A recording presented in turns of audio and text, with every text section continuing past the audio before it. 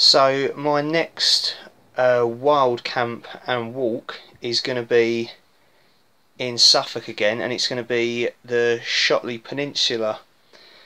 Uh, sort of Shotley Gate sort of near near the border of Essex and Suffolk.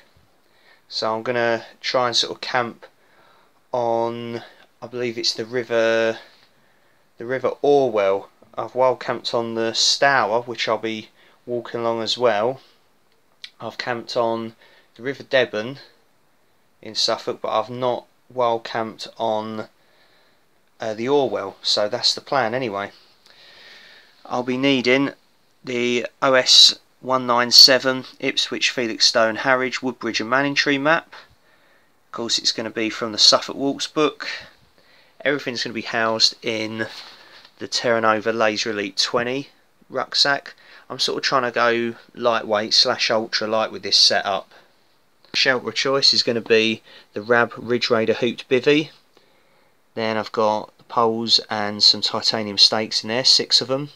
I've also got some uh, some just steel sand stakes as well in case you know there's sort of a, a beach area or anything and I can't get the normal pegs in the ground. We've got on top of uh, it's all on top of the OEX three quarter length pad weighs about I think 440 grams. It's it's well under a kilo uh, half a kilo I know that. Polycro ground top got my Karrimor uh, travel light sleeping bag two season.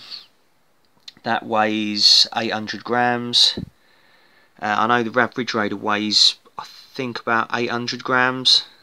It's under a kilo as well. Got an OEX self-inflating sleeping pillow, OEX sleeping bag liner. Then if it's not cutting it and I'm still a bit too cold, I've always got this little light SOL emergency bivy bag to go over the top of my sleeping bag. I'm going to use an Osprey little fold away waterproof uh, rucksack cover. It will fit my Terra Nova really nice and snug. Onto spare clothing. So I've got my little Rab uh, windproof jacket, like smock thing. It's incredibly light and it packs up really small. Uh, my Montane Minimus rain jacket, that packs up really really small. They're both very very light uh, layering options. For extra warm clothing like at night, beanie hat, uh, OEX thermal top, OEX thermal bottoms. For water I'm going to be carrying two uh, 75 milliliter uh, old Oshee energy drink bottles. So I'm carrying a litre and a half of plain water. I'll have at the end there half a litre of flavoured water to drink. I've got a cider of course then if I need any more water I can stop in a pub. There's going to be like four pubs on the walk so I can always ask them to sort of fill up that 2 litre uh, Sawyer bag or any of the bottles if I need any more water. Then on to sort of small items like lights. We've got my ThruNite TH10 head torch, it's incredibly bright. Little uh, TI3 ThruNite mini flashlight got a capsule with some emergency money in. That's a little microfiber pocket towel hand towel. Cleaning up that sort of stuff. Uh, ThruNite uh, I can't remember what this one's called again now. It's the T10 T10 turns into a lamp flashlight combo. Lighter spare battery for the for the lamp. Penknife hand sanitizer multi-purpose soap, tiny little bottles, lip balm, and it's all going to be in a little Cuben fibre stuff sack. Uh, Alpkit titanium spork. Uh, first aid kit. Then on to cookware. Alpkit titanium pot. About 600 and... I can't remember what it says now. Uh, it is 650 mil, uh, 400 mil Alpkit titanium mug, mini gas canister, uh, BRS titanium mini gas stove, weighs about 23 grams, uh, boils half a litre in about two minutes and change. Then backup stove in case the gas doesn't work, which is unlikely.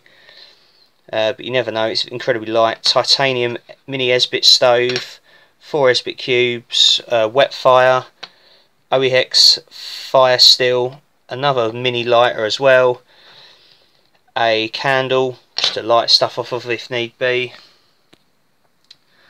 Um, we've got some tin foil and some water purification tablets. Then on to little uh, sit mat, which I can also put underneath my feet if my feet get really cold. So, because I've just got a half pad. My food bag in the OEX stuff sack, I've got. See what I've got. I always sort of try and pack a breakfast, lunch, and dinner. These overnight things. We've got just some like go ahead sort of I don't know what they are cereal bar things uh, for dinner I'll have a pasta and sauce chicken and mushroom flavour thing they're brilliant they are very filling I've got some stuff to flavour my water with as well lemon and lime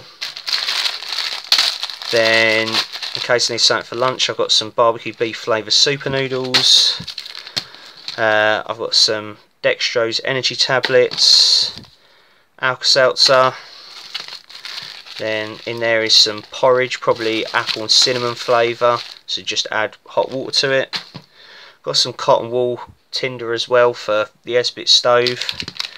I've got a coffee from Alan Pharaoh. Thanks, mate. And oh, got cereal bar for the morning. I'll probably add a couple more cereal bars and energy bars to it and also two hot chocolate sachets as well but yeah that is going to be my kit should be nice and light I'm going to pack it all away I'm going to weigh it uh, without the food and without the water and the cider. So I'll give you the base pack weight. Okay that's the gear all packed away. As you can see I've left my uh, food bag out the map and the guidebook and then those OEX waterproof over trousers there.